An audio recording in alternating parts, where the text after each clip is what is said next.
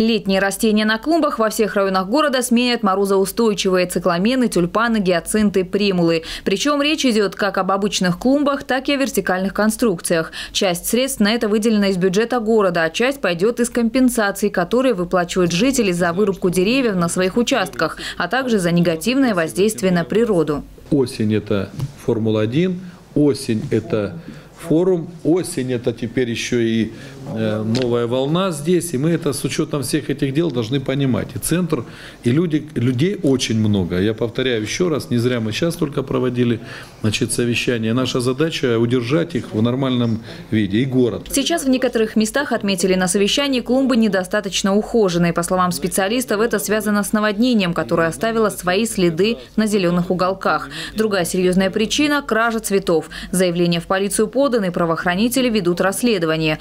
Работы по озеленению, уход за клумбами идет в городе непрерывно. В частности, в первых числах августа цветы появятся на участках набережной у Олимпийского парка. Помочь в озеленении курорта просят и предприниматели. За ними остаются территории у их объектов.